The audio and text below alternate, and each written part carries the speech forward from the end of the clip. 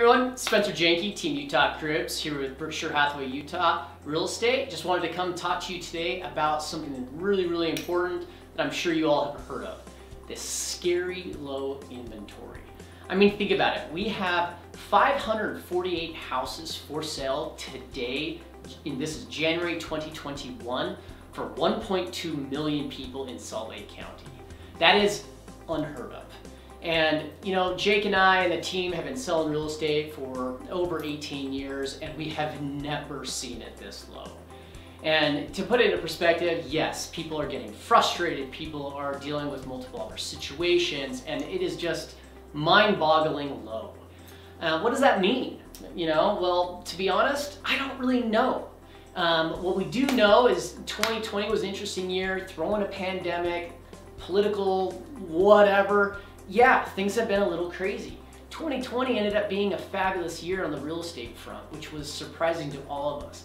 But what's happened is Utah's growth is just going to be accelerated because of this pandemic.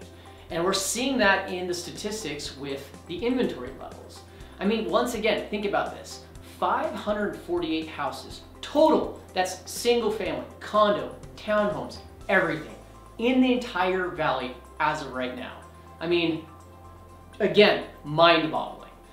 What does that mean for you, for your family, and your current situation?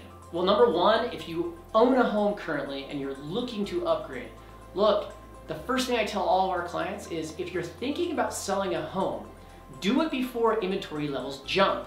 If you're going to get that premium, if you think you're going to try to get that, that top, top price, do it before all of a sudden you have a thousand other homes hitting the market.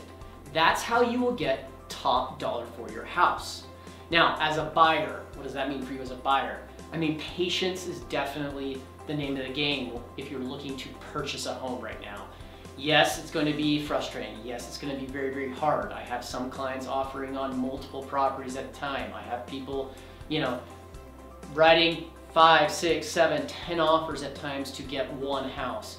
And you know, that, that's the world we live in. And unfortunately, I don't see Utah slowing down in that front, with, especially with the amount of people that are coming into the market.